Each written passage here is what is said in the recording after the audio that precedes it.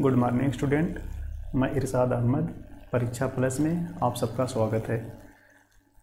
आज जो स्टार्ट आज जो शुरू होने वाला है, आधुनिक भारत का इतिहास, बंगाल में ब्रिटिश ईस्ट इंडिया कंपनी की स्थापना, बंगाल में। तो समझिए कि पढ़ने से पहले इसको एक बार थोड़ा सा आप जान लीजिए, क्यों बंगाल ही अंग्रेज़ों ने बंगाल को क्यों चुना? तो जान लीजिए, जो बंगाल था वो सबसे समृद्ध अपने समकालीन राज्यों में सबसे समृद्ध राज्य था, बंगाल। ठीक? क्योंकि बंगाल प्रेसिडेंसी के अंदर समझिए कि बिहार, उड़ीसा आता था तो समझिए कि बंगाल से व्यापार करने के लिए भी, व्यापार करने के लिए भी अंग्रेज़ों की अधिक सुविधा थी। और समझिए कि वहाँ के बंगाल समझिए कि जब स्वतंत्र होता है तो समझिए कि कई उसमें, कई छोटे छोटे तनाव के कारण वो बिखर जाता है। ठीक? तो बिखरता क्या है? फिर देखिए आपको आज जो पढ़ना है, ध्यान दीजिएगा। आज को अब जो, आपको जो पढ़ना है बंगाल में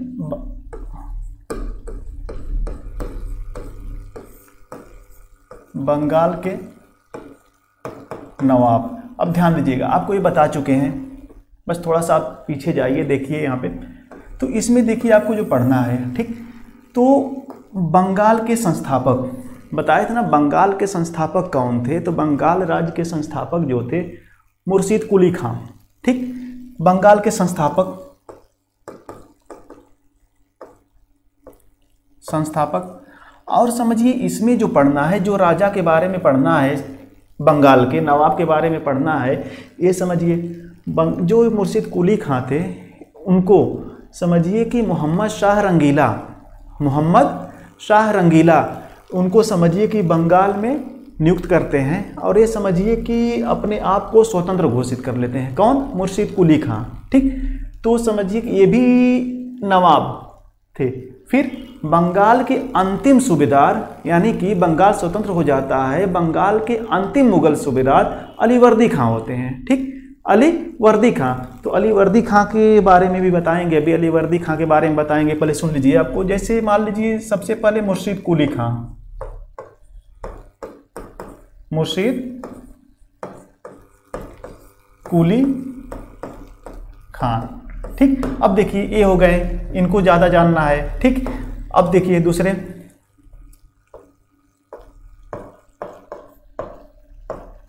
अली वर्दी खां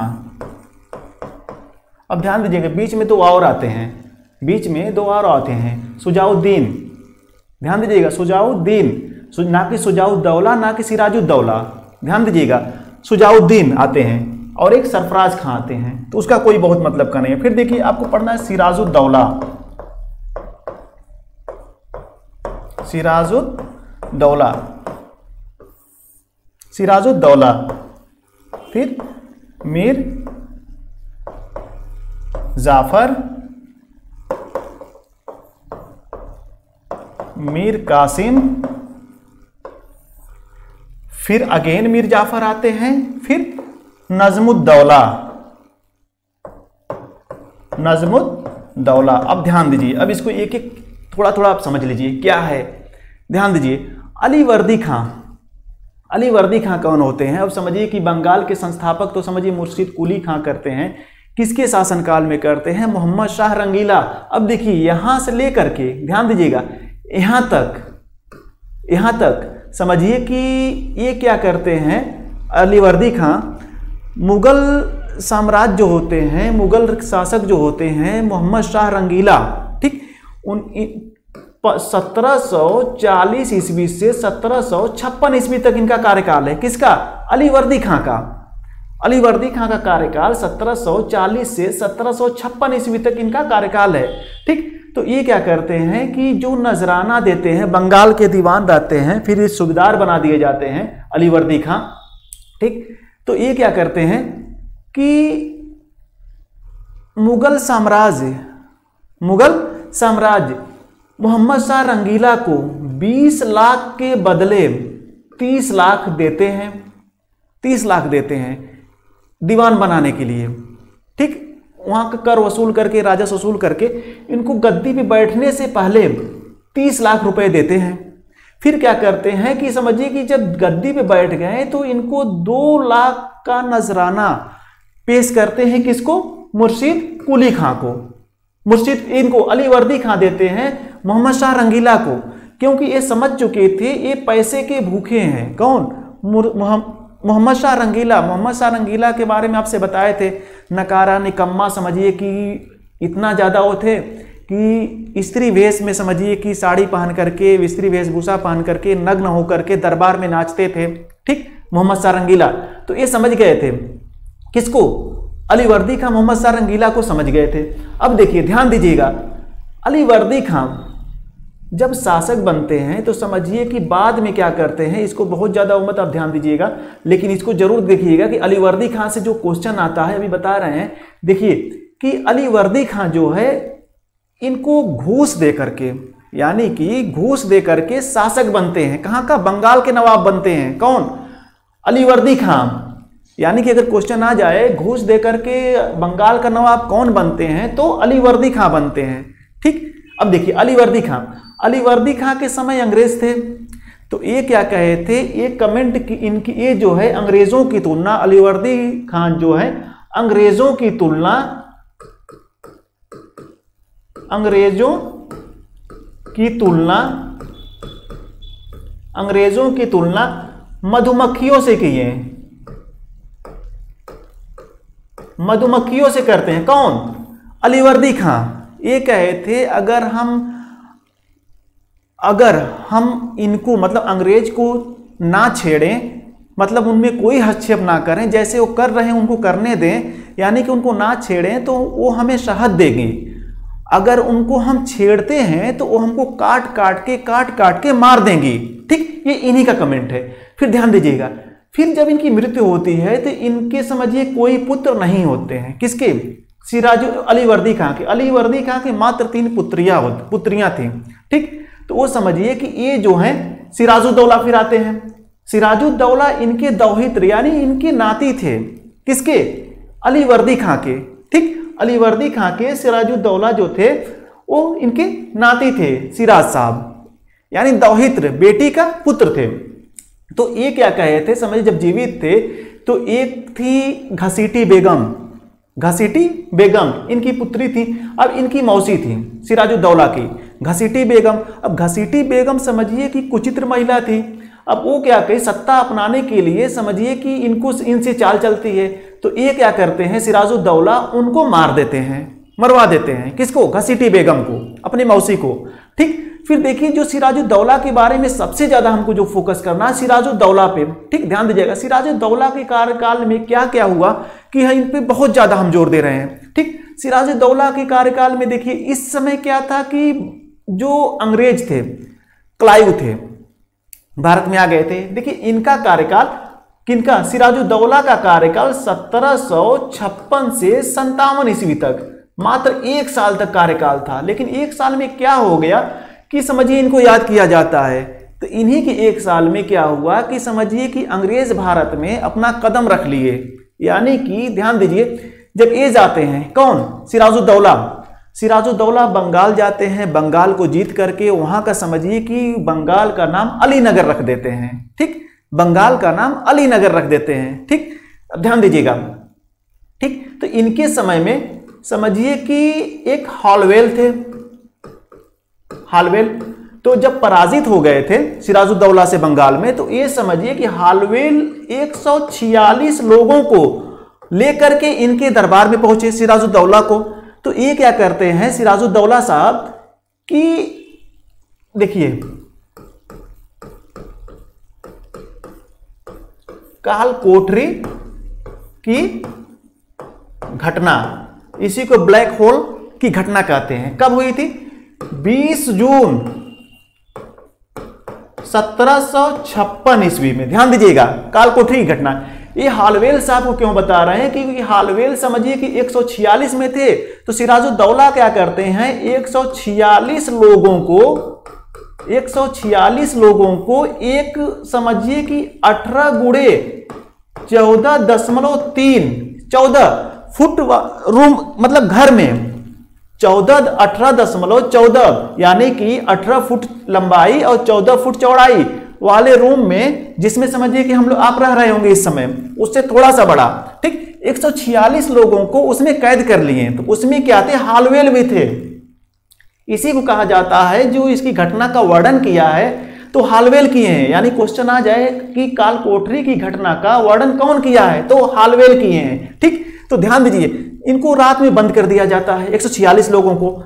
तो इसमें से सुबह में, ठीक? इसमें से सुबह में 123 लोगों की मृत्यु हो गई और मात्र 23 लोग जीवित बचे। इस 23 लोगों में हालवेल भी थे।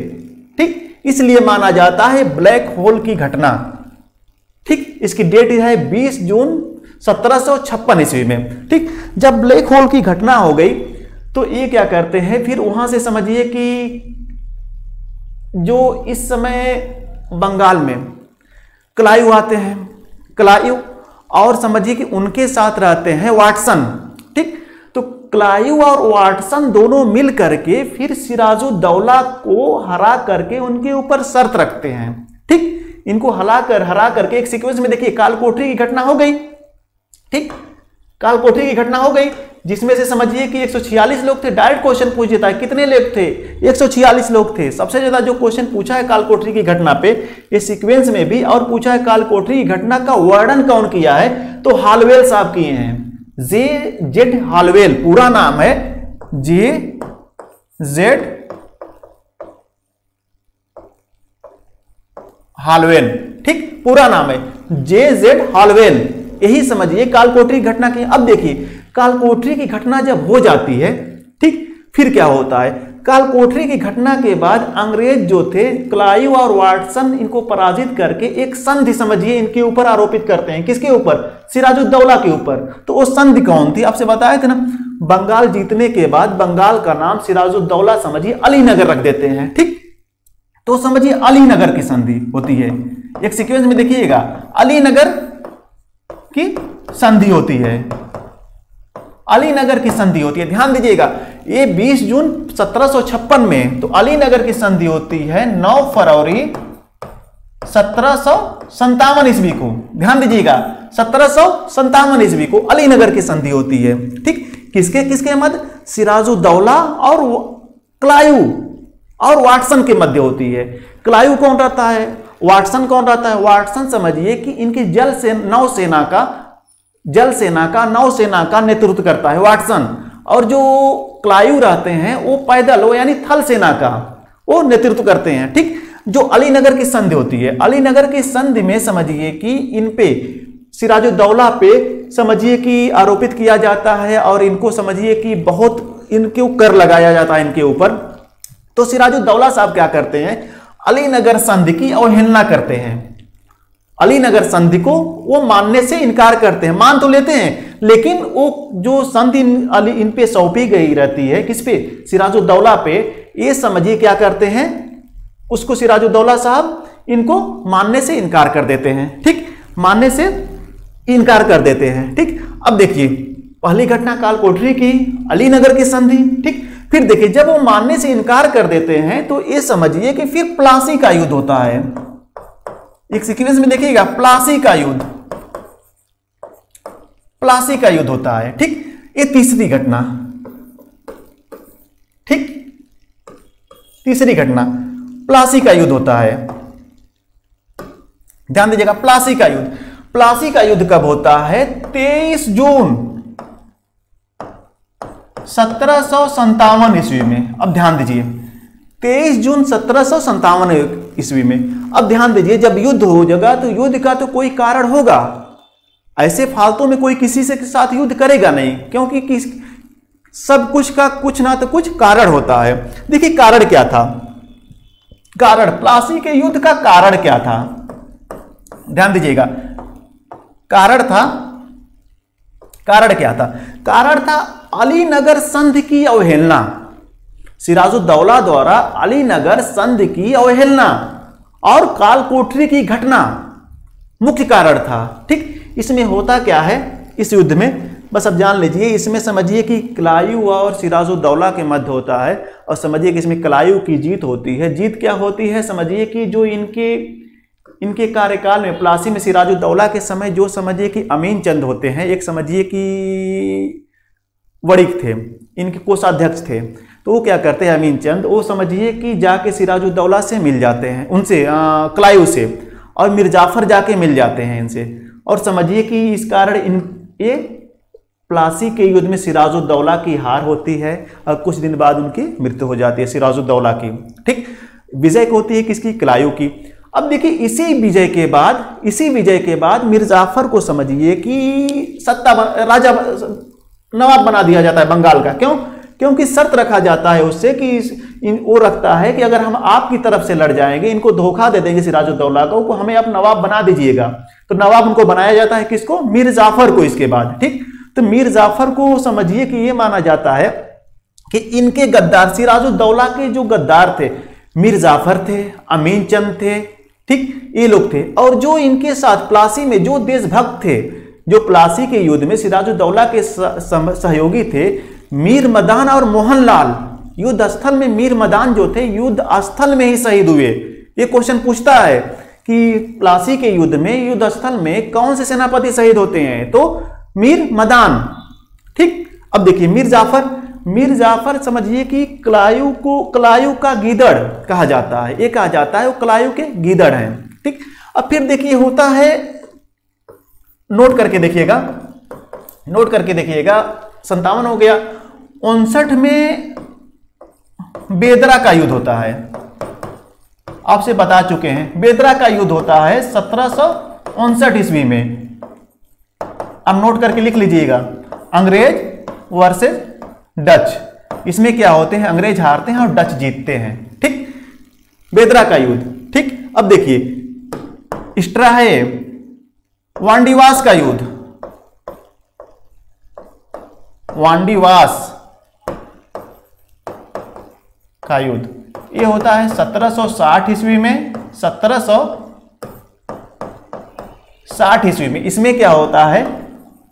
अंग्रेज़ सेना ने, अंग्रेज़ ने, ठीक वर्सेज फ्रांस फ्रांस को बुरी तरह से पराजित कर देते हैं अंग्रेज़। इसमें अंग्रेज़ की जीत होती है और फ्रांस की हार होती है। इसको आप नोट कर लीजिएगा, ठीक? अब आते देखते हैं। अब इसके बाद देखिए क्या होता है। इसके बाद जो होता है, वो समझिए कि बक्सर का युद्ध होता है, जो महत्वपूर्ण है।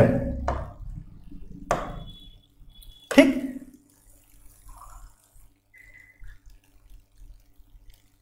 ठीक? अब देखिए, इसमें आपको जो जो समझिए बंगाल के नवाब थे, ठीक? अब देखिए, बक्सर का युद्ध। बक्सर का युद्ध। 22 अक्टूबर सत्रह ईस्वी में, ठीक? 22 अक्टूबर सत्रह ईस्वी में। अब यह माना जाता है कि इस युद्ध के बाद, ठीक? इस युद्ध के बाद, बक्सर के युद्ध के बाद क्या होता है?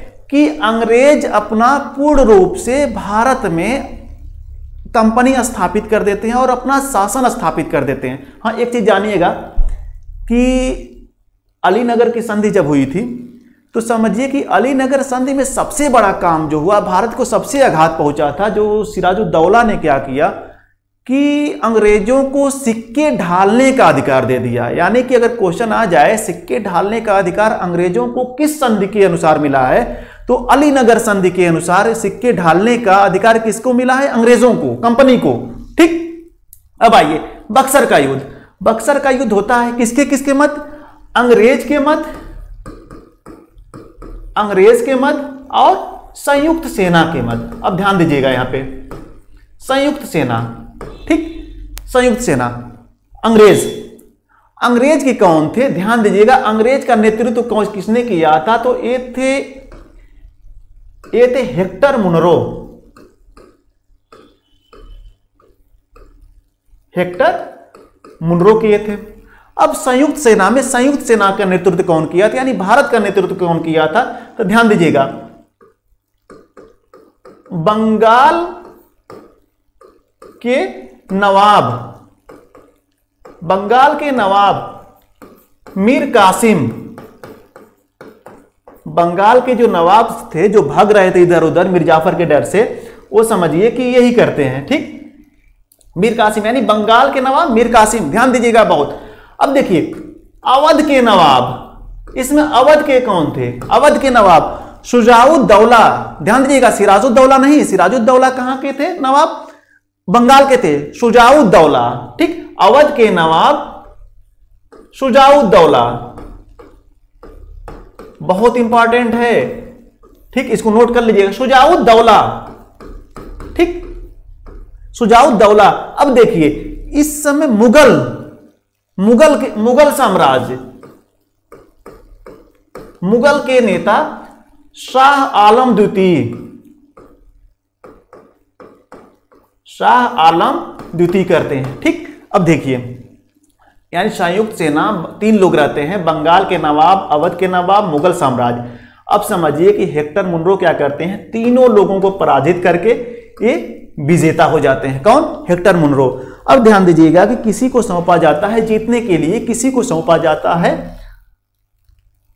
राज्य स्थापित करने के लिए। ये जीत लेते हैं। फिर जीत करके यहाँ से तुरंत इनको क्या कर इंग्लैंड चले जाते हैं, ठीक? अब ध्यान दीजिएगा, इनकी पराजय हो जाती है, यानी बक्सर के विजेता हेक्टर मुनरो हो जाते हैं। फिर देखिए क्या होता है, एकदम सीक्वेंस में देखिएगा, इन सीक्वेंस में चल रहे हैं। फिर देखिए क्या होता है, जो वहाँ से तुरंत लॉर्ड क्लायू भारत में आ जाते हैं, ठीक सत्रह सौ पैंसठ ईस्वी में। तो वो क्या करते हैं, इलाहाबाद की संधि करते हैं। इलाहाबाद की संधि करते हैं, ये देखिए अभी बताएँगे, इलाहाबाद की संधि करते हैं। तो इलाहाबाद की संधि करने से, ये समझिए कि किससे किससे करते हैं अवध के नवाब से करते हैं और मुगल से करते हैं। ध्यान दीजिएगा। तो मुगल से समझिए कि जब करते हैं 12 अगस्त से, इन मुगल से करते हैं 12 अगस्त सत्रह सौ पैंसठ ईस्वी में। ठीक? इनसे करते हैं, अवध के नवाब से करते हैं 16 अगस्त सत्रह सौ पैंसठ में। ध्यान दीजिएगा, सबसे पहले मुगल से करते हैं। तो मुगल से क्या करते हैं कि बंगाल, बिहार, उड़ीसा। ठीक? बंगाल, बिहार, उड़ीसा की दीवानी प्राप्त कर लेते हैं। दीवानी का तात्पर्य यह है कि अब राजस्व वसूलने का अधिकार कंपनी को हो गया। ठीक? यही है। ठीक ना?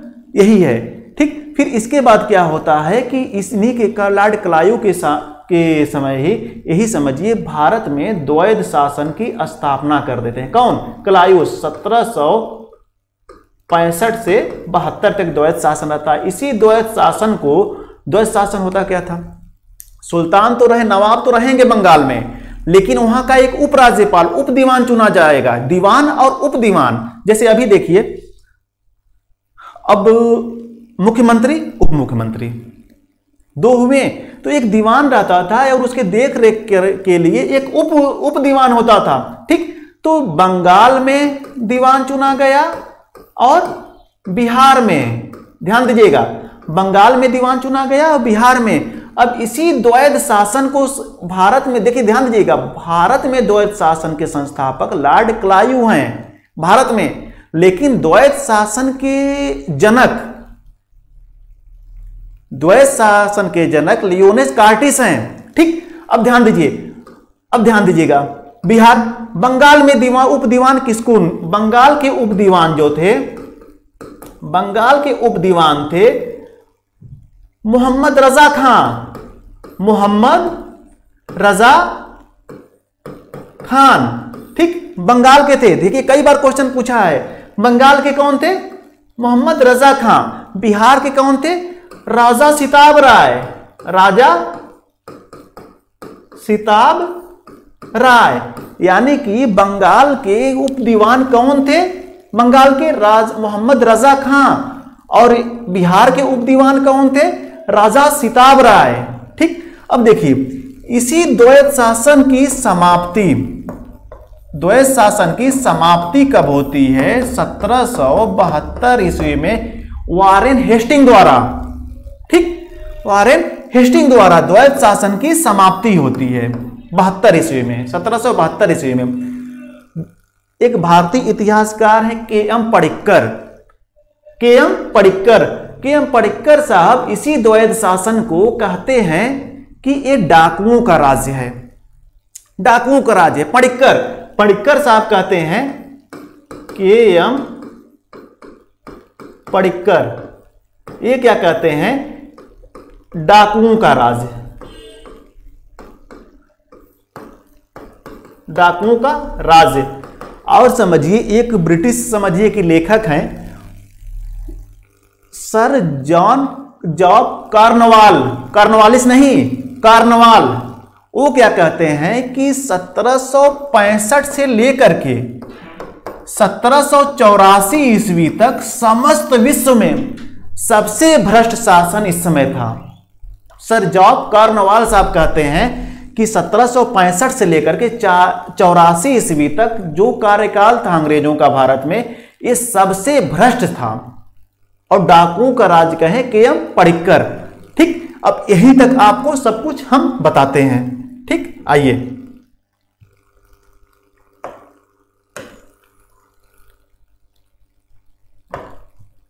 अब आइए, जो बताए हैं आपको, एक बार उसको कर ले। देखिए। बताए थे ना? देखिए, यहाँ पे आपको पढ़ना है मुगलों से मुगलों से स्वतंत्र राज। मुगल से बताए थे, मुगल स्वतंत्र होकर बंगाल बंगाल के संस्थापक मुर्शीद कुली खां। बता चुके थे मुर्शीद कुली खां, ठीक? अवध के संस्थापक शादत खां, हैदराबाद के संस्थापक चिनकिलिस या निजामुल मुल्क, ठीक? चिलकिलिस खां या निजामुल मुल्क फिर उसके बाद मैसूर पढ़ाना है, सिख पढ़ाना है, मराठा पढ़ाना है। इधर देखिए, इधर मराठे भी हैं, शिवाजी को पढ़ाना है, मैसूर है, हैदर अली टीपू सुल्तान को पढ़ाना है और सिख धर्म जो है, ठीक? आइए, पहले हम देखते हैं इन तीनों राज्यों को, ठीक? इसमें से सबसे पहले बंगाल को। बंगाल को देखिए, हम सब कुछ बता चुके हैं, लेकिन एक बार आप फिर लिखित रूप से देखिए। ठीक? संस्थापक मुर्शीद कुली खां ठीक? मुर्शीद कुली खां अब देखिए 1717 से 1727 ईस्वी तक क्या करते हैं फरुखसियर क्या करते हैं? इनको बंगाल का दीवान नियुक्त करते हैं। किसको? मुर्शीद कुली खां को, जो भी बताए हैं। फिर ये मुर्शीद कुली खां दीवान तो कुछ दिन तक बने रहते हैं, ठीक? लेकिन 24 में 1724 ईस्वी में बंगाल को स्वतंत्र राज्य बना देते हैं। यानी कि मुगल से हट करके अपने आप को स्वतंत्र राज्य की घोषणा कर देते हैं। कौन? मुर्शीद कुली खां। किसके समय में? मोहम्मद शाह रंगीला के समय में, जो समझिए भारत में पूर्ण रूप से जजिया कर हटाया था। कौन? मोहम्मद शाह रंगीला, अंतिम बार जजिया कर हटाने वाला बादशाह। ध्यान दीजिए, औरंगज़ेब द्वारा सत्रह सौ ईस्वी में मुर्शीद कुली खां को बंगाल का सूबेदार चुना गया था, ठीक?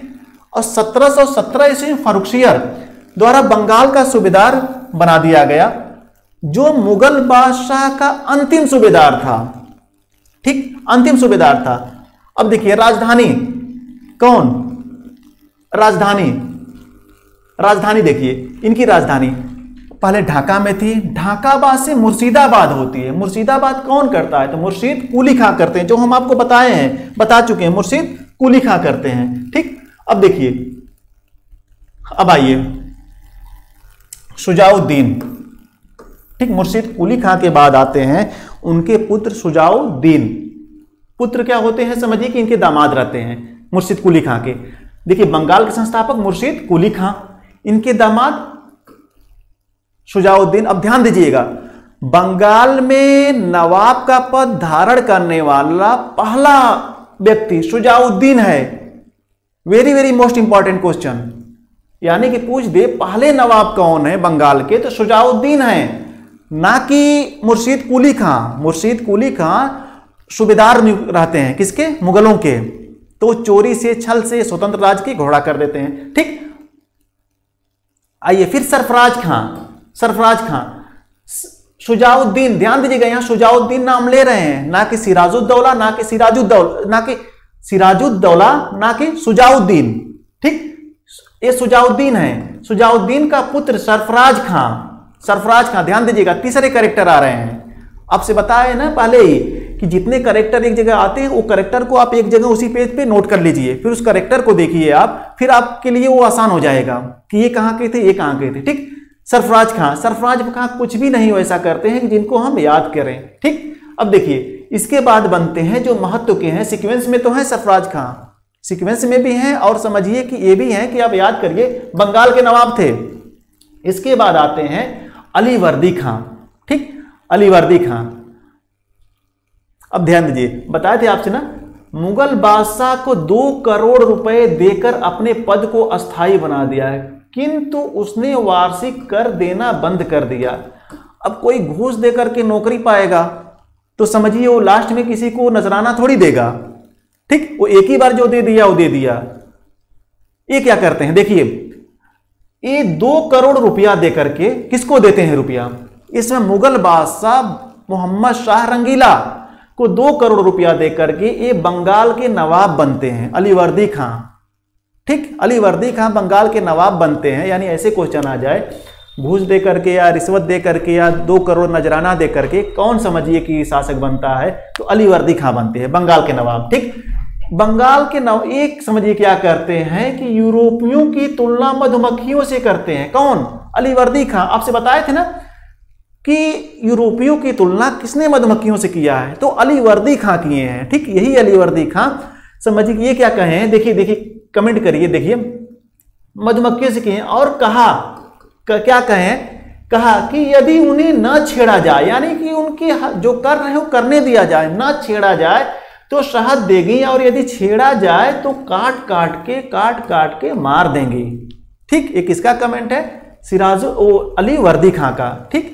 इसके समय में देखिए, फिर क्या होता है? इक्यावन ईस्वी में रघु जी घोसले, मराठा, मराठे सरदार रघु जी से बंगाल पर आक्रमण किया और परिणामतः मराठों से सत्रह सौ इक्यावन ईस्वी में संधि करके उड़ीसा प्रांत ले लिए। कौन? अलीवर्दी खां, ठीक? और चौथ भी लेने लगे, ठीक? अब देखिए, अलीवर्दी खां के उत्तराधिकारी ठीक अलीवर्दी खां अलीवर्दी खां के उत्तराधिकारी, अलीवर्दी खां के पास कोई पुत्र नहीं थे। सिर्फ़ और सिर्फ़ बताए थे आपसे, तीन पुत्रियाँ थीं। ठीक? तो एक पुत्री का लड़का समझिए कि सिराजुद्दौला हुआ। ठीक? सिराजुद्दौला हुआ। अब ढाका ढाका की बहन जो थी इनकी, वो घसीटी बेगम थी। अब एक, बताए थे ना आपसे अली वर्दी खां सिराजुद्दौला से कहे थे, आप अपने मौसी से, घसीटी बेगम से सावधान रहिएगा। घसीटी बेगम से सावधान रहिएगा, क्योंकि ये समझे कुचक, कुचक्रकारी महिला हैं, ठीक? अब देखिए, फिर उसके बाद सिराजुद्दौला नवाब बनते हैं, बंगाल के। अब ये समझिए अली वर्दी खां की मृत्यु के बाद उसकी पुत्री का पुत्र, यानी दौहित्र, सिराजुद्दौला, यानी कि इनके नाती इनके नाती, बंगाल के नवाब बनते हैं, ठीक? और सिराजुद्दीन के तीन प्रमुख शत्रु थे, वो शत्रु में घसीटी बेगम थे, अंग्रेज़ थे जानिए कि इनके मुख्य शत्रु कौन थे? अंग्रेज़ थे। ठीक? अब इन्हीं के समय में क्या होता है जो हम आपको बता चुके हैं, शौक। ठीक ना? अब नोट कर लीजिएगा, मनिहारी। मनिहारी का युद्ध किसके कार्यकाल में लड़ा गया है? तो आप एक नोट करके इंपॉर्टेंट में इसको लिख लीजिएगा, मनिहारी का युद्ध। अब तक तो मान लीजिए वैसा क्वेश्चन नहीं पूछा है। अगर पूछ दे तो आप उसको सही कर सके मनिहारी का युद्ध सत्रह सौ छप्पन ईस्वी में लड़ा गया था। समझिए कि इस युद्ध में शौकत अली को सिराजुद्दौला सिराजुद्दौला वही मतलब सिराज साठ में नाम सिराज लिखा है, ठीक? सिराज ने पराजित करके मार डाला। किसको? शौकत अली को। ठीक? शौकत अली को मार डाला। अब देखिए, छप्पन में यूरोप सप्तवर्षीय युद्ध लड़ रहे थे। सप्तवर्षीय युद्ध। ध्यान दीजिएगा, कर्नाटक का जो तृतीय युद्ध है, कर्नाटक का तृतीय युद्ध जो है अभी इसको बताएँगे आगे, जब कर्नाटक पढ़ाएँगे तो। कर्नाटक का तृतीय युद्ध जो है, वो समझिए सप्तवर्षीय युद्ध के रूप में जाना जाता है। सत्रह सौ छप्पन से सत्रह ईस्वी तक। ठीक, इसमें क्या होता है? होता तो कर्नाटक के नाम पे, लेकिन जो मुख्यतः लड़ा जाता है, अंग्रेज़ और फ्रांस के मध्य लड़ा जाता है। ठीक, ये आप जानिए इसको। ठीक, अब देखिए।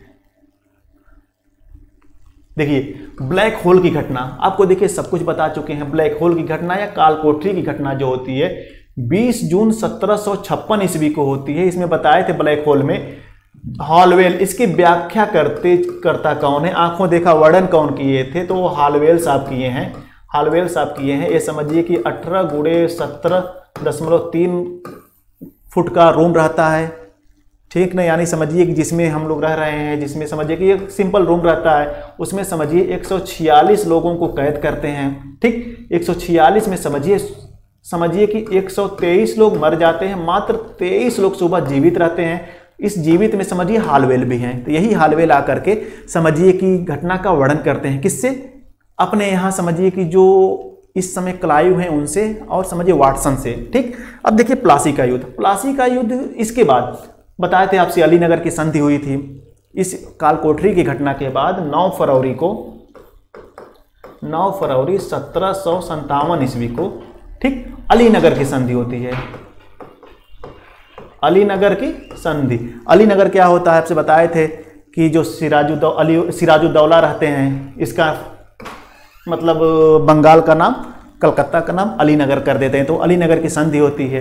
किसके किसके मध्य होती है? सिराजुद्दौला के मध्य होती है। इन पे संधि सौंपी जाती है। ठीक? तो उसी की अवहेलना में, जब इस संधि का अवहेलना करते हैं, अलीनगर संधि का जब अवहेलना करते हैं सिराजुद्दौला तो फिर क्या करते हैं, अंग्रेज़ प्लासी का युद्ध लड़ना शुरू कर देते हैं। प्लासी नामक स्थान पे कहाँ पे है, समझिए कि नदिया ज़िले में, बिहार की नदिया में है। गंगा नदी के तट पे, वहाँ पे समझिए युद्ध होता है और सिराजुद्दौला की पराजय होती है और न, और अंग्रेज़ों की विजय होती है। ठीक, इसमें डायरेक्ट क्वेश्चन बनता है कि अंग्रेज़ों का नेतृत्व कौन कर रहा था? प्लासी के युद्ध में भारत का नेतृत्व कौन कर रहा था या बंगाल का नेतृत्व कौन कर रहा था? ऐसे बनता है। फिर उसके बाद इनका साथ कौन दिया? किसका? नवाब का। तो साथ दिए थे मीर मदान और मोहनलाल। और समझिए कौन गद्दारी करता है? गद्दारी अमीन चंद नामा के व्यापारी करता है। और समझिए कि मीर जाफ़र करते हैं, जगत सेठ करते हैं। ध्यान दीजिएगा कि मुर्शिदाबाद से दूर भागीरथी मतलब गंगा के तट पर हुआ था। युद्ध ना होकर षडयंत्र था। ये तो बात सही है। इस युद्ध में पहले से ही सौदा हो चुका था। ठीक? इस युद्ध में पहले ही सौदा हो गए, चुका था। तो जैसे पी ई रॉबर्ट साहब हैं, वो क्या कहे हैं? पी ई रॉबर्ट, ये युद्ध नहीं, एकमात्र सौदा था। ठीक? प्लासी का युद्ध, पी ई रॉबर्ट साहब कहे हैं, प्लासी का युद्ध एक विश्वासघात था। ठीक? विश्वासघात था, पी ई रॉबर्ट साहब कहे हैं। ठीक? अब देखिए, इसमें देखिए, जिसमें नवाब के विरुद्ध मतलब नवाब, सिराज के विरुद्ध सेनापति मीर जाफ़र जगत सेठ मानिक चंद शामिल थे। युद्ध में नवाब की पराजय हुई। युद्ध में नवाब मुर्शिदाबाद भाग गए। मिर्जाफर के पुत्र मीरन ने सिराज की हत्या कर दी। यानी कि मिर्जाफर ने फिर बाद में इनकी हत्या करवा दी। किसकी? मुर्शी सिराजुद्दौला की। ठीक? अब देखिए, यहाँ पे हो गए। इसीलिए फिर उसके बाद इनसे आपसे बताए थे ना, कलायु से इनसे समझौता हुआ था कि आप हमको राज, नवाब बनाएँगे तो हम आपसे मिल जाएँगे। अब उनकी सारी खुफिया की जानकारी ये दे दिए अब समझिए कि सेनापति थे।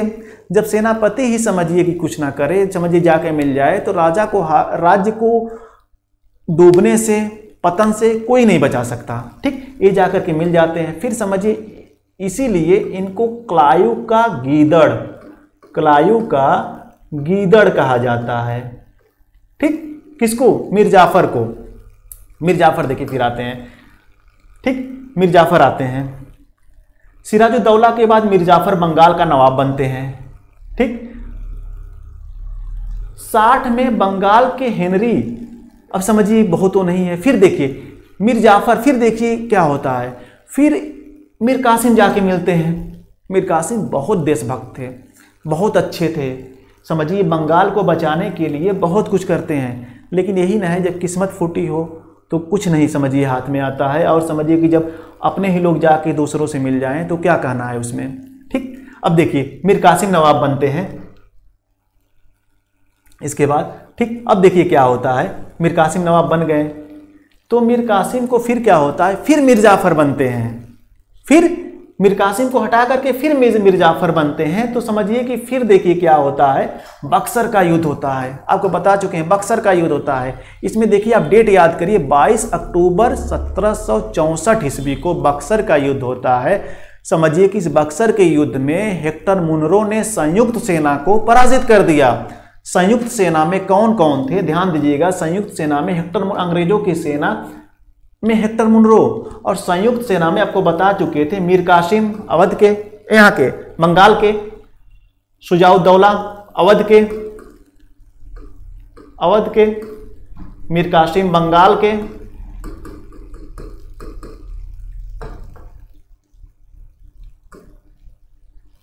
मीर कासिम मीर कासिम बंगाल के, ठीक? मीर कासिम, बंगाल के, और शाह आलम मुगल थे। मुगल साम्राज्य। शाह आलम द्वितीय मुगल थे। ठीक, अब ध्यान दीजिए, इस युद्ध में क्या होता है? हेक्टर मुनरो विजेता होते हैं। अब समझिए कि 9 घंटे 10 घंटे में ही ये युद्ध जीता गया अंग्रेज़ के द्वारा और भारतीय की हार होती है। अब इसी हार के, बक्सर के युद्ध के बाद समझिए, अंग्रेज़ों की पूर्ण रूप से भारत में स्थित कदम, स्थित अच्छी हो जाती है, पूर्ण रूप से स्थापित हो जाते हैं। किस युद्ध के बाद? बक्सर के युद्ध के बाद। ठीक? अब देखिए। देखिए, बता चुके इसको। त्रिगुट की पराजय हुई। फिर देखिए क्या होता है। फिर जो पराजय के पश्चात, देखिए हम पराजय भी हो गए भारत पराजय भी हो गया। अब समझिए, जो जीतता है, वो शर्त रखता है, संधि करता है कि आप हमारे नुकसान का भरपाई करिए, क्योंकि अब अंग्रेज़ भारत में मज़बूत हो गए थे। ठीक? तो समझिए कि शर्त रखने के लिए, समझिए हेक्टर मुंड्रो नहीं करते हैं, लॉर्ड क्लायू भारत में वापस आ जाते हैं। सत्रह सौ पैंसठ ईस्वी में लॉर्ड क्लायू की पुनः वापसी होती है, ठीक? तो वो समझिए संधि करते हैं, उस संधि का नाम इलाहाबाद की संधि होती है। इलाहाबाद की दो संधियाँ करते हैं, रॉबर्ट कलायू, देखिए, रॉबर्ट कलायू करते हैं, इलाहाबाद की दो संधियाँ होती हैं। एक संधि होती है 12 अगस्त सत्रह सौ पैंसठ ईस्वी को, पहली संधि। दूसरी संधि होती है 16 अगस्त सत्रह सौ पैंसठ ईस्वी को। ठीक? अब देखिए पहली संधि करते हैं जो भारत का नाम भारत के समय रा, राजा थे। अवध मुगल के शासक बादशाह शाह आलम द्वितीय से। तो उनसे समझिए क्या करते हैं कि बंगाल बिहार उड़ीसा की दीवानी ले लेते हैं। दीवानी ध्यान दीजिएगा। फरुखसियर क्या किया था? शाही फरमान बस किया था कि वो तीन हज़ार मामूली रकम के बदले व्यापार के लिए छूट दिया था। फरुखसियर, अब ये क्या करते हैं कि दीवानी दे देते हैं। दीवानी मतलब भू राजस्व वसूलने का अधिकार दे देते हैं। किसको? क्लायू को, अंग्रेज़ों को, कंपनी को। ठीक? दीवानी में और समझिए कि फरुखसियर में बहुत अंतर है। फरुखसियर का शाही फरमान में और शाह आलम दूती की दीवानी में। वो तो बस मामूली रकम। फरुखसियर क्या करते हैं? फरुख नोट करके एक बार देख लीजिए। फरुखसियर फरुखशियर का शाही फरमान जो होता है 1717 ईस्वी में होता है। ये क्या करते हैं? कुछ रकम लेकर के बंगाल, बिहार, उड़ीसा से अंग्रेज़ों को व्यापार करने में मदद करते हैं। क्यों? क्योंकि कर मुक्त व्यापार करने की अनुमति दे देते हैं। यानी कि कर व्यापार जो होगा, वो कर विहीन होगा। बिना कर के व्यापार करने की अनुमति कौन दिया था? शाही फरमान द्वारा फरुखसियर लेकिन बंगाल, बिहार, उड़ीसा की दीवानी कौन दे दिया? तो शाह आलम द्वितीय दे देते हैं। कब? 12 अगस्त सत्रह सौ पैंसठ ईस्वी को। ठीक? अब दूसरा, दूसरी संधि किससे होती है? दूसरी संधि किससे होती है? ये कहावत है ना? ये देखे में होंगे कि जो लड़ रहा है, ठीक? बंगाल। तो बंगाल लड़ रहा है तो बंगाल के शासन से कोई नहीं। अब तुम्हारी हिम्मत कैसे हुई कि आकर के बंगाल का सहायता किए? कलायु ने ये कहा कि अंग्रेज़ ने ये कहे कि तुम्हारी हिम्मत कैसे हुई इनसे? कि क्यों आए लड़ने के लिए इनके एक साथ? और अवध से कहा, अवध के नवाब समझिए कि सुजाउद्दौला थी इनसे कहें कि क्यों आए लड़ने के लिए? ठीक, जब लड़े हो तो समझिए कि हमें टैक्स दो। कुछ तो दो, हमारी छतपूर्ति का हो दो। तो फिर क्या होता है कि समझिए कि ये संधि समझिए कि अवध के नवाब से होती है। अवध के नवाब सुजाउद्दौला से होती है, ठीक? अब देखिए यहाँ पे संधि। प्रथम संधि 12 अगस्त को क्लायु शाह आलम, ठीक? क्लायु शाह आलम से होती है, ठीक? शाह आलम द्वितीय से, और बंगाल के नवाब नजमुद्दौला। अब ध्यान दीजिएगा, क्यों नजमुद्दौला? क्योंकि मीर जाफ़र को हरा करके ये समझिए भेज दिए थे, हरा दिए थे, फिर मीर जाफ़र को अधपस्त कर दिए थे। तो नजमुद्दौला को शासक बनाते हैं तो नजमुद्दौला ध्यान दीजिएगा, नोट करके लिख लीजिए बंगाल का नवाब नजमुद्दौला अंग्रेज़ों के संरक्षण में बनने वाला पहला शासक था, पहला नवाब था। अंग्रेज़ों के संरक्षण में बनता है। कौन? नजमुद्दौला। पहली संधि देखिए मुगल से करते हैं। तो मुगल बादशाह ने बंगाल, बिहार, उड़ीसा की दीवानी अंग्रेज़ों को दे दी, यानी कि दीवानी का तात्पर्य भू राजस्व भू राजस्व वसूलने का अधिकार दे दिया इनको। किसको? हेक्टर क्लायु को क्लायु को दे दिया। कौन? शाह आलम द्वितीय, मुगल दे देते हैं। फिर देखिए क्या करते हैं। अवध से कड़ा, ध्यान दीजिए, अवध के नवाब से, अवध से कड़ा तथा मानिकपुर ज़िले को लेकर मुगल बादशाह को दे दिया गया। ध्यान दीजिएगा, जो अवध के नवाब सुजाउद्दौला से संधि करते हैं तो क्या करते हैं? कि इनके पास कड़ा था, इलाहाबाद करे और मानिकपुर। इनसे लेकर के, अवध के नवाब से लेकर के, ये दे देते हैं मुगल साम्राज्य शाह आलम द्वितीय को दे देते हैं, ठीक? ठीक? और देखिए, अंग्रेज़ों ने मुगल बादशाह को 26 लाख रुपए वार्षिक पेंशन देना सुनिश्चित किया। यानी कि अब भारत में आप कुछ नहीं करेंगे, अब सिर्फ़ हमारे पेंशनर बन के रह जाएँगे, ठीक? कोई रिटायरमेंट होता है तो समझिए पेंशन पे ही आश्रित रहता है, यानी कि कुछ नहीं करेंगे, कर रहे हैं। ठीक? इनको समझिए छब्बीस लाख रुपए की पेंशन के बदले ये समझिए कि निजामत भी दे देते हैं, निजामत का तात्पर्य है, सैन्य व्यवस्था, संचालन व्यवस्था दे देते हैं भू राजस्व तो पहले ही दे देते हैं, दीवानी का अधिकार तो पहले दे देते हैं, ठीक? अब देखिए, दूसरी संधि 16 अगस्त को करते हैं। 16 क्लायु और अवध के नवाब सुजाउद्दौला ध्यान दीजिएगा, क्लायु, अंग्रेज़ के क्लायु और सुजाउद्दौला अवध के नवाब से युद्ध की क्षति 50 लाख रुपया लिया गया। सोचिए सोचिए अपने जेब से क्लायु कुछ नहीं इनको दिए। जो 26 लाख रुपए दिए थे, किसको? नव मुगल साम्राज्य को शाह आलम द्वितीय को। तो समझिए क्या करते हैं? 50 लाख रुपए लेकर के, किससे लेते हैं? अवध के नवाब, सुजाउद्दौला से लेकर के दे देते हैं। ठीक, अवध से अंग्रेज़ों ने चुनार का किला प्राप्त किया। ठीक? अवध में एक ब्रिटिश सेना रख दी, ठीक? जो खर्चा नवाब उठाएँगे। दो संधियाँ होती हैं, दोनों संधियाँ बहुत मतलब की है। देखिए, बहुत अच्छी तरह से बता दिए हम, ठीक? अब देखिए, बंगाल में द्वैत शासन, ठीक? बंगाल में द्वैध शासन की स्थापना होती है, ठीक?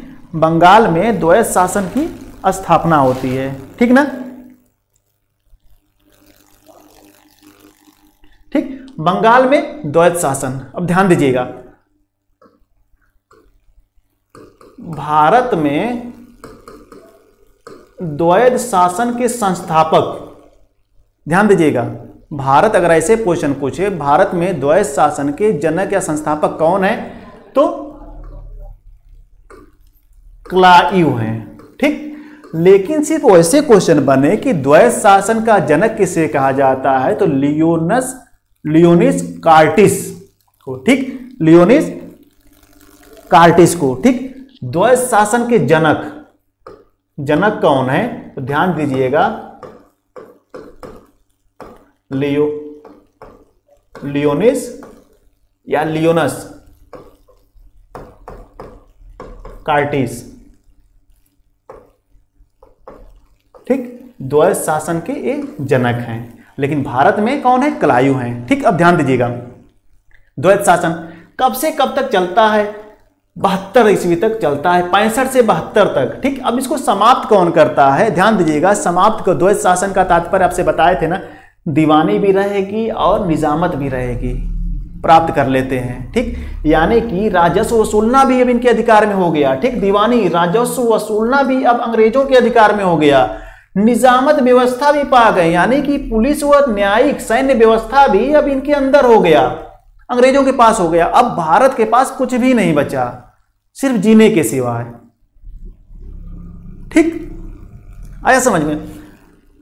दीवानी का मतलब होता है, दीवानी जब प्राप्त करते हैं किससे? शाह आलम द्वितीय से, यानी भू राजस्व वसूलने का अधिकार प्राप्त कर लेते हैं और निजामत भी प्राप्त कर लेते हैं, यानी कि सैन्य व्यवस्था और न्याय व्यवस्था अब भारत के कोई नहीं करेगा, अब कौन करेगा न्याय व्यवस्था? अब कौन करेंगे? अंग्रेज़ करेंगे भारत में, अपने हिसाब से करेंगे। अब इसके बाद क्या होता है कि भारत में समझिए एक सुप्रीम कोर्ट की स्थापना होती है, अब समझिए कि एक रेगुलेटिंग एक्ट आता है, ठीक? अब देखिए, द्वैत शासन, बताए थे ना, द्वैत शासन के अधीन बंगाल में उप दीवान चुना गया किसको? मोहम्मद रजा खां को। बंगाल के, ध्यान दीजिएगा, दो उप दीवान चुने जाएँगे ठीक? दो उप दीवान कहाँ, कहा? उप दीवान दो उप दीवान चुने गए। कहा? अब ध्यान दीजिएगा। एक, बंगाल में। अब दूसरे, बिहार में। अब ध्यान दीजिएगा। बंगाल के उप दीवान कौन है? बंगाल के उप दीवान है मोहम्मद रजा खान। मोहम्मद रजा खान, ठीक? और बिहार के कौन है? राजा सिताब राय। राजा सिताब राय। सिताब राय, बहुत इंपॉर्टेंट है, आप ध्यान दीजिएगा, ठीक? अब दो लोगों को दिमाग चुना गया। अब नवाब यहाँ पे रहेंगे, लेकिन यह है कि यहाँ पे समझिए कि ये रहेगा, ठीक? अब देखिए वही लिखा है तिरपन लाख रुपए के बदले बंगाल के नवाब से निजामत का भी अधिकार ले लिया गया। वही मतलब कानून व्यवस्था का भी अधिकार अपने अंदर ले लेते हैं अंग्रेज़। ठीक? अब देखिए।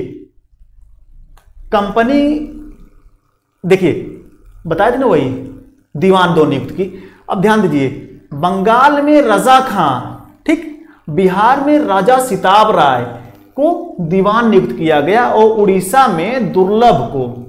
राय दुर्लभ को। बताया था ना, बंगाल, बिहार, उड़ीसा में जब द्वैत शासन की स्थापना होती है तो द्वैत शासन की स्थापना में आप देखिए, ज़रूर याद करिएगा, इसको याद हो जाएगा, हम बता रहे हैं कैसे याद होगा। देखिए, बंगाल क्या था? मुस्लिम प्रांत था, नवाब वहीं पे थे तो इसलिए यहाँ पे खान है, रजा खान है। बिहार क्या है? हिंदू राज्य है। ठीक, उस समय हिंदू राज्य था। तो यहाँ पे क्या है, कौन है? राजा सिताब राय हैं। ठीक, उड़ीसा दुर्लभ। राय दुर्लभ थे, उड़ीसा के उड़ीसा के राय दुर्लभ हैं। अब देखिए, सत्रह ईस्वी में वारेन हेस्टिंग ने द्वैत शासन की समाप्ति कर दी और इसी द्वैत शासन को बता चुके आपको कई बार कि के एम साहब डाकुओं का राज्य कहे हैं और जाप कार्नवाल साहब क्या कहे हैं? सत्रह सौ पैंसठ से लेकर के सत्रह सौ चौरासी ईस्वी तक जो भारत में राज चल रहा था, इससे भ्रष्ट किसी देश में नहीं चल रहा था। यानी भ्रष्ट शासन था इस समय। जाप जाप कार्नवाल कहे हैं अब देखिए अवध। बता चुके। अवध के संस्थापक शहादत खान थे। ठीक? अवध के संस्थापक यही अवध, जो लखनऊ के बगल में, फैजाबाद, जिसकी राजधानी फैजाबाद है। आया समझ में ना? अब देखिए, शहादत खान, अवध के संस्थापक शहादत खान, कई बार बता चुके हैं। एक, हम यहाँ बता भी चुके हैं, ठीक? अब यहाँ पे एक बार आप देख लीजिए, राजधानी फैजाबाद, उपाधि बुरहान उल मुल्क, बुरहान उल मुल्क, किसकी? अब सआदत खान, बुरहान उल मुल्क, ठीक? अब देखिए, इसमें समझिए कि यही सफदर जंग सफदर जंग होते हैं। समझिए कि सफदर जंग को बहुत तो नहीं है, लेकिन ये समझिए कि सुजाउद्दौला यही सुजाउद्दौला है, जो समझिए कि अंग्रेज़ों से, उसमें बक्सर के युद्ध में शामिल होते हैं, अवध की तरफ़ से, और समझिए पराजित होने के बाद समझिए अवध के, समझिए कि अंग्रेज़ों को 50 लाख रुपए देते हैं उस संधि में इलाहाबाद की संधि में, ठीक? अब समझिए क्या? पानीपत का तृतीय युद्ध। अहमद शाह अब्दाली का साथ दिया था। ध्यान दीजिए, यानी कि पानीपत का तृतीय युद्ध सत्रह सौ इकसठ ईस्वी में हुआ था। अगर क्वेश्चन आ जाए, बहुत बड़ा क्वेश्चन है कि ये शामिल हुए थे कि नहीं हुए थे? ये शामिल हुए थे, सुजाउद्दौला। फिर पैंसठ में अंग्रेज़ों के विरुद्ध बक्सर चौंसठ में, सत्रह ईस्वी में अंग्रेज़ों के विरुद्ध बक्सर का युद्ध लड़े थे। और समझिए कि इलाहाबाद की संधि हुई थी। इलाहाबाद की संधि के रूप में क्लायू ने इनसे छतपूर्ति लिया 50 लाख रुपए। और इनके यहाँ सैन्य व्यवस्था का खर्चा दे दिया कि अब आपके यहाँ हम जो रख रहे हैं सैन्य व्यवस्था आपको दे रहे हैं और हमारे सैन्य का खर्चा आपके ऊपर है। ठीक? अब देखिए। अशफुद्दौला। ध्यान दीजिएगा, अशफुद्दौला। अशफुद्दौला में बस ये जानिए कि जो लखनऊ में, जो लखनऊ में बड़ा इमाम बाड़ा है, बड़ा इमाम बाड़ा यानी कि भूल भुलैया ठीक? बड़े इमाम बाड़े की स्थापना किसने किया है? तो अशफुद्दौला साहब किए हैं। वेरी वेरी इंपॉर्टेंट यूपी के दृष्टि से यूपी के एग्ज़ाम से बहुत बड़ा क्वेश्चन है। ठीक? अशफुद्दौला दौला। इमामबाड़े की स्थापना करते हैं। ठीक? अब देखिए, शहादत अली खां, शहादत अली खां क्या करते हैं? कि समझिए कि सहायक संधि वेलजली की सहायक संधि स्वीकार कर लेते हैं। ठीक? अभी हम पढ़ाएँगे, वेलजली जब पढ़ाएँगे, सब गवर्नर भी पढ़ाएँगे तो ये ये पढ़ाएँगे आप कि भारत में सहायक संधि के स्वीकार, सहायक संधि स्वीकार कर किए थे। सहायक संधि बताएँगे किससे किससे? समझिए कि लॉर्ड वेलजली सहायक संधि करता है तो सब हम बताएँगे। ठीक? एक हड़प नीति है, उसको भी बताएँगे। जैसे हम गवर्नर जनरल बताएँगे जितना अच्छी तरह से यहाँ भी बता रहे हैं, वैसे वहाँ पर ही बताएँगे। सब कुछ क्लियर आपका क्लास में ही करवा देंगे। ठीक? वाजिद अली साहब। ठीक? ये समझिए कि अवध के अंतिम नवाब वाजिद अली शाह अब इन्हीं के कार्यकाल में हड़प नीति जो थी, हड़प नीति थी डलहौजी की, अब समझिए कि इनको क्या था? कुशासन के आधार पर अवध का विलय कर लिया गया। ध्यान दीजिएगा, कैसे किया गया? हड़प नीति की थी तो हड़प नीति के भारत में हड़प नीति के डलहौजी। डलहौजी? डलहौजी क्या करते हैं कि इन पे किसको वाजिद अली शाह के ऊपर एक केस लगाते हैं कि आप सही से शासन नहीं कर रहे हैं। ठीक, जैसे अभी देखिए कि आर्टिकल तीन सौ तीन सौ छप्पन के अनुसार क्या होता है कि जब राज्यपाल राष्ट्रपति शासन लगाया जाता है तो एक ये भी है ना कि हाँ आप सही से शासन नहीं कर रहे हैं तो राष्ट्रपति शासन लगा दिया जाता है। ठीक तो ये भी समझिए कि वाजिद अली शाह के ऊपर क्या होता है कि डलहौजी ये समझिए कुशासन का आरोप करते हैं, लगाते हैं कि आप शासन सही से नहीं कर पा रहे हैं, इसलिए हम आपको अपने अधीन ले रहे हैं आपके उसको, ठीक? तो ये समझिए अवध का विलय कर लेते हैं, ठीक? अवध के नवाब, ये अंतिम नवाब थे। अब इसी के समय कत्थक, जो कत्थक, ध्यान दीजिएगा, एक कत्थक होता है, एक कथकली होता है तो कत्थक उत्तर प्रदेश का है, उत्तर प्रदेश का कत्थक नृत्य है, ठीक? वाजिद अली शाह स्वयं अख्तर पिया नाम से ठुमरी कोई मतलब का नहीं है। ठीक, अब आइए। देखिए, वही जो बताए थे, अठारह सौ छप्पन ईस्वी में जेम्स आउटरम की रिपोर्ट के आधार पर कुशासन का आरोप लगा करके अवध को अंग्रेज़ शासन में मिला लिया गया। ध्यान दीजिएगा, अवध को किसने मिलाया? मगर ध्यान दीजिए, किसने मिलाया था? लॉर्ड डलहाउजी जो भारत में हड़प नीति हड़प नीति जो किया था। ठीक अब देखिए हैदराबाद हैदराबाद, बता चुके हैं हैदराबाद के संस्थापक चिनकिलीज खां, चिनकिलीस खां, ठीक? और फरुखसियर द्वारा प्रदान किया, और इनकी उपाधि थी निजामुल मुल्क। ध्यान दीजिए चिनकिलीज खां भी दे सकता है और निजामुल मुल्क भी दे सकता है। यानी कि बंगाल मुर्शिद कुली खां, अवध सआदत खां, और हैदराबाद हैदराबाद निज़ाम, निजामुल मुल्क या चिनकिलीज खां, ठीक? अब देखिए, यहाँ पे समझिए कि बहुत ज़्यादा वो नहीं है आपको जो वो करना है, ठीक ना? अब समझिए कि यहाँ से हैदराबाद से हम वो बताएँगे, जो जो क्वेश्चन समझिए कि जब मैसूर पढ़ाएँगे, तब समझिए कि हैदराबाद की संधि और ये सब होता है, ठीक ना? अब समझिए क्या होता है इसमें कि जो लॉर्ड वेल्जली सहायक संधि जो करता है तो सबसे पहले हैदराबाद को उसमें शामिल करता है, सहायक संधि के थ्रू, ठीक? हैदराबाद को शामिल करता है, ठीक ना? तो अब समझिए, आज समझिए यहीं तक जो अगली क्लास होगी उसमें मराठा, जो बचा था मराठा और समझ सिख, वो दोनों समाप्त होगी ठीक ना? अब समझिए कि ये मराठा मराठा से भी क्वेश्चन आता है। ठीक ना? अब समझिए कि यहाँ से अब यहीं तक। ठीक? ठीक? अब समझिए कि अब आपका बहुत ज़्यादा नहीं बचा। इसके बाद क्या है? मराठा के बाद समझिए कि भू राजस्व जैसे रैयत अस्थाई रैयतवाड़ी, महलवाड़ी, जो एक सीक्वेंस में चलेंगे ठीक ना? फिर उसके बाद अठारह सौ सत्तावन की क्रांति। फिर समझिए आपका आधा आधा खत्म। फिर आधा आधुनिक भारत आपका समाप्त हो गया, ठीक? तो आज तक आज के लिए यहीं तक के लिए थैंक यू सो मच